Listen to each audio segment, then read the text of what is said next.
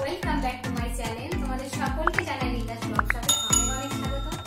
তো দেখো তোমরা এত এত সাপোর্ট করছ আমাকে, আমার ভিডিওটা দেখতে তোমরা এত এত ভালোবাসছো, তোমাদের এত এত কমেন্টস আসছে, আমারও ভীষণ ভালো লাগছে। এই সমস্ত কমেন্ট করার পর মানে একটা আলাদাই এনার্জি লাগে। ভিডিও বানাতেও ভালো লাগে। অবশ্যই ভালো থেকো, সুস্থ থেকো। আর আমার ভিডিও অবশ্যই দেখতে থেকো। যারা নতুন দেখছ, তারা আমার চ্যানেলটিকে সাবস্ক্রাইব করে নিও। আর যারা আমার সাবস্ক্রাইবার আছো তারা আমার ভিডিওটা দেখতে থাকো।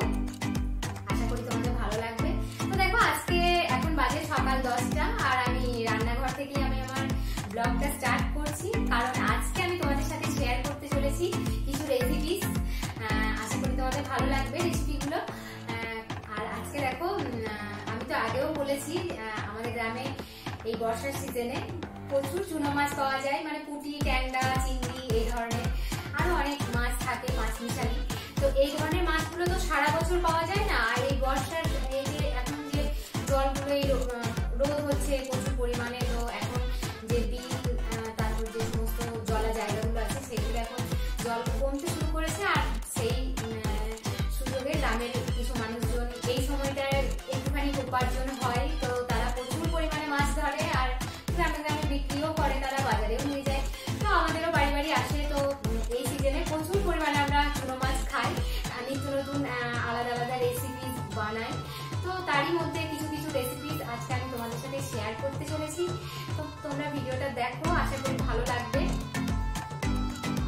দেখো, এখানে কিন্তু অনেক রকমের মাছ রয়েছে। এখানে পাবদা, ট্যাংরা, পুঁটি, দাঁড়কে, চিংড়ি, এই ধরনের খোলসে, এই ধরনের অনেক রকম মাছ রয়েছে।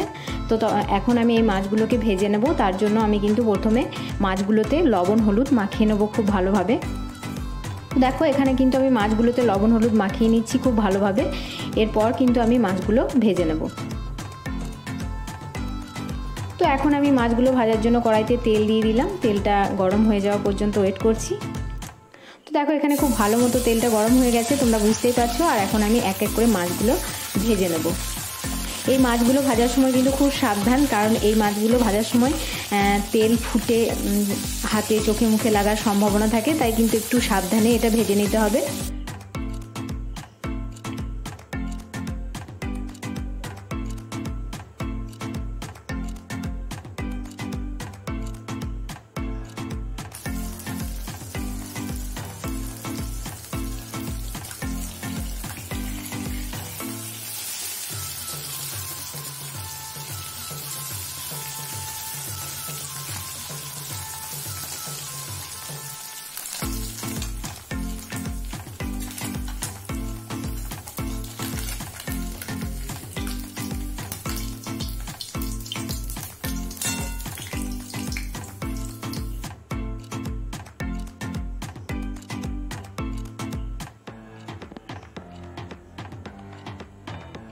তো দেখো বন্ধুরা, এখন কিন্তু এত- এতক্ষণ অবধি আমাদের কারেন্ট ছিল না, তো তোমরা ভালোভাবে হয়তো বুঝতে পারো না এখন হয়তো তোমরা খুব ভালোভাবে দেখতে পাবে। তো তো এখন তোমরা দেখো, মাছটা ভাজতে খুবই ভালো লাগছে দেখতে।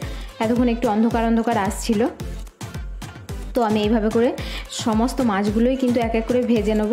যেহেতু চুনো মাছ একটু ভাজতে কিন্তু টাইম লাগে, কারণ একসাথে যদি আমি ভাজতে যাই তাহলে মাছটা কিন্তু ভেঙে যাবে। তাই আমি এইভাবে এক এক করে মাছগুলোকে কিন্তু খুব ভালো মতো ভেজে নেব। আর এই মাছটা কিন্তু খুব ভালোভাবে না ভাজলে ভালো লাগে না। তো একটু বেশ মচমচে করে লাল লাল করে ভেজে নেব।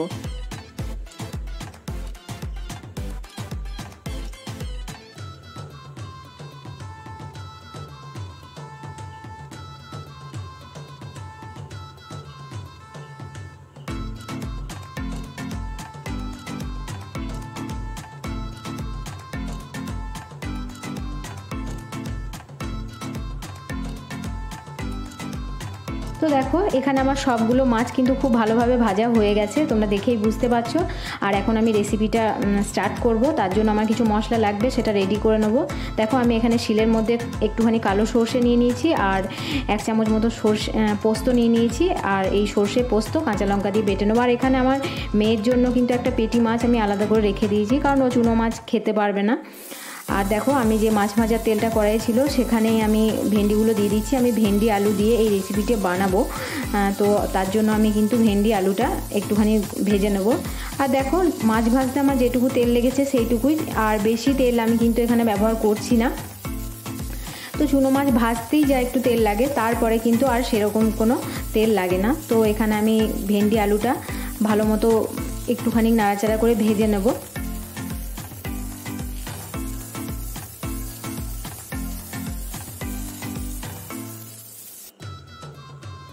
তো দেখো, এখানে আমি একটু নাড়াচাড়া করে নেওয়ার পর স্বাদ অনুযায়ী লবণ দিয়ে দিলাম আর দিয়ে দিলাম একটুখানি হলুদ।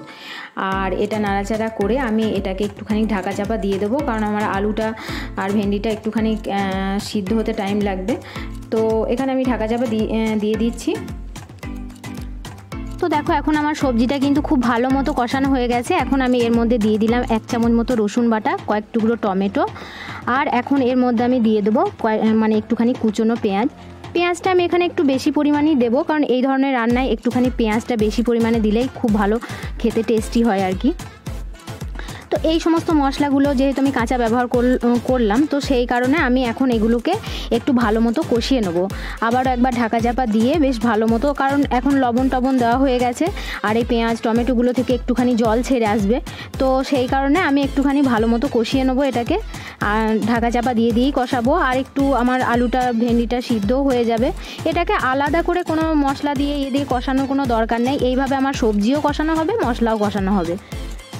দেখো, আমার এখানে মোটামুটি কষানো হয়ে গেছে। আর একটুখানি যে জল জল ভাব আছে নিচের দিকে, তো সেটা একটু বেশ তেল ছেড়ে আসা অবধি আমি একটুখানি কষিয়ে নেব এটাকে, যাতে আমার মশলাটা একটু বেশ লাগা লাগা হয়ে আসে। তো তোমরা ভিডিওটা দেখো, আশা করি তোমাদের ভালো লাগবে। আর ভালো লাগলে একটা লাইক, কমেন্ট, শেয়ার করতে ভুলো না। আর দেখো, এখানে আমার কষানো ভালো মতো হয়ে গেছিল, তো এখন আমি এখানে জল ব্যবহার করছি। আমি এটা একদম মাখো মাখো করব, তাই খুব বেশি জল কিন্তু আমি ব্যবহার করব না। আর দেখো, মাছে কিন্তু একটু জল টানে, তো জল সেই জন্য একটুখানি দিলাম আমি এখানে। আর এখানে দেখো, আমি দিয়ে দিলাম কয়েকটা কাঁচা লঙ্কা চেরানো কাঁচা লঙ্কা, আর এখন আমি চুনো মাছটা দিয়ে দিচ্ছি।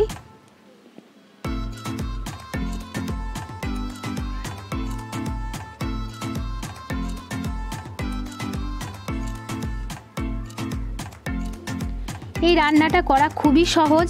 মানে একবার মাছটা যাই ভাজতে সময় লাগে, সেটা তো ধরো চুনো মাছ ভাজতে টাইম লাগেই। তো তারপরে কিন্তু এটা আর একদমই টাইম লাগে না। আমি একবারেই কষিয়ে এটাকে বসিয়ে দিলেই হয়ে যায়। আর মশলাটা একটু রেডি করতে পারলেই কিন্তু হয়ে যায় আমার রান্নাটা ঝটপট। আর এটা খেতে অসম্ভব সুন্দর হয়, তোমরা বাড়িতে একবার নিশ্চয়ই ট্রাই করবে। দেখবে খুব সুন্দর খেতে লাগে। একটুখানি গরম ভাতের সঙ্গে মাখো মাখো, একদম অসাধারণ খেতে লাগে।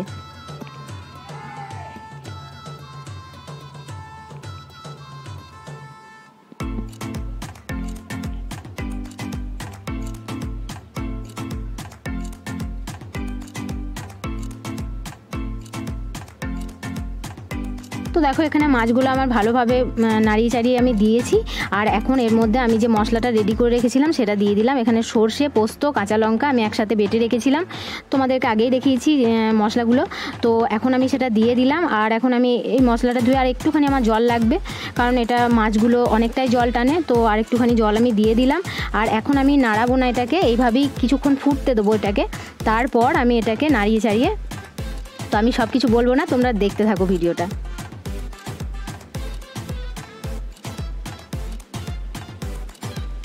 দেখো, এখানে আমি একটুখানি স্বাদ অনুযায়ী মিষ্টি দিয়ে দিলাম। কারণ সর্ষে যেহেতু আছে, তো একটুখানি মিষ্টি লাগবে। না হলে একটুখানি স্বাদটা অন্যরকম লাগে। মিষ্টি দিলে স্বাদের ব্যালেন্সটা খুব সুন্দর আসে। তবে তোমরা যারা মিষ্টি খাও না, তারা এটাকে অ্যাভয়েড করতে পারো। তো আমার প্রায় হয়ে এসছে। আর একটুখানি আরও আমি মাখা মাখা করে নেব। এটা আমার প্রায় হয়ে এসছে। তো দেখো, এখানে আমার একদমই এটা মাখো মাখো হয়ে গেছে। তো তোমরা দেখতেই পাচ্ছ। এখন আমি এটাকে ঢেলে নেব জায়গায়।